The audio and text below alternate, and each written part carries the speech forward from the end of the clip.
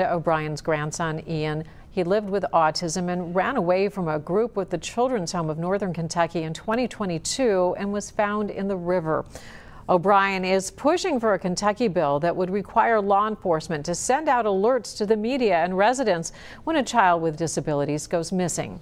Today in Frankfort, she told lawmakers her life was shattered the day Ian died.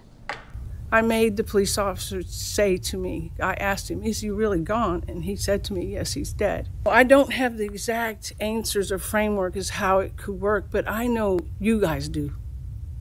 And we have it in place. So I would beg of you to do this. Ian's grandmother has 2,000 signatures on a petition from people who want to see this kind of alert created. Sure, you could stop watching now, but let's be honest, you want to see more. So click some of those links, or better yet, go ahead and tap subscribe. That way you'll catch more content from Local 12.